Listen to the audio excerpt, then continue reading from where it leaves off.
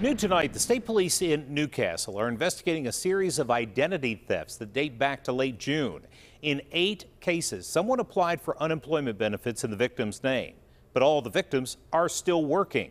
The incidents involve people living in Ellwood City, Volant, Newcastle, and Wampum.